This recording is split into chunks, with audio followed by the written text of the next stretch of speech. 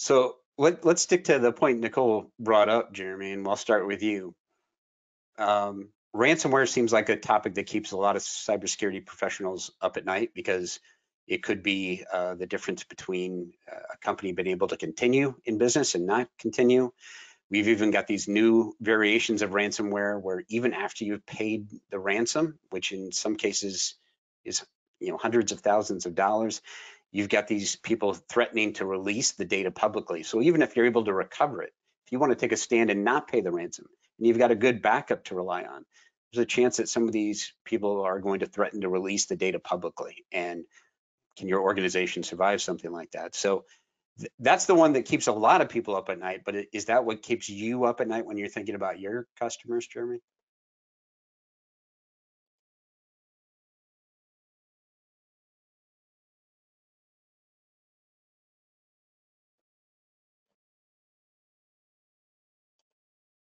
Oh, I think we lost Jeremy's audio. Alex, I'll give it to you, and then I'm going to work on Sure. Jeremy's audio. Uh, so, yeah, w- we do a business impact assessment uh, each year, and ransomware is one of the top risks that um, I speak to the board about, and I uh, uh, we have plans uh, on air gap backups and things like that, so we can recover. Um, so, is it? My wife tells me I sleep very well at night, so um, I I don't have that problem, but in a serious sense, if you have to restore from like an air gap backup in a ransomware, or you choose to pay that, um, you've already sort of lost. And so our our viewpoint is more the protect versus the recover aspect. So that's where we put most of our investment. Um, but the problem is that it's an arms race. Um, you're always uh, needing to spend more and more to protect that fortress. And so um, our strategy is more along that line uh, than complex recovery models. Um, but it's it's certainly a hot topic, I would say. Um, I losing my intellectual property or client data um, would be strategic business impairing uh, for the firm, and so um, that's why we do look at it as a top risk, and we do have lots of plans around it. Jeremy, back to you. Sorry for the audio issue there. That's fine.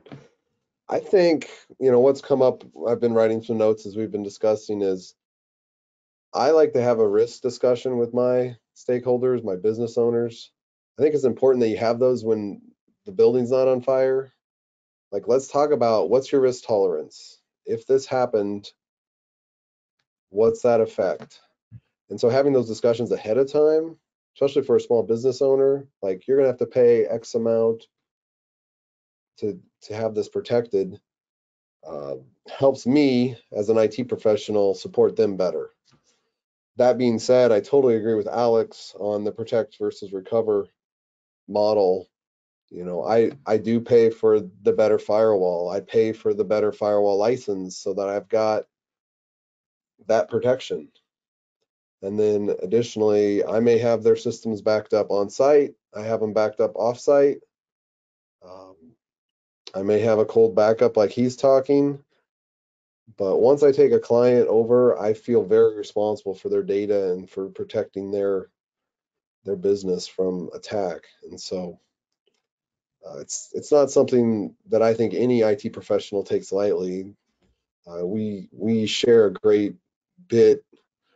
We we hold that on our shoulders of we don't want anybody to ever lose their data.